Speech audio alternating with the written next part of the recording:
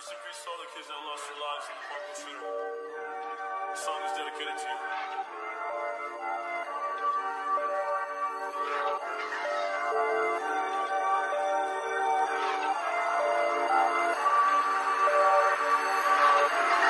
Okay,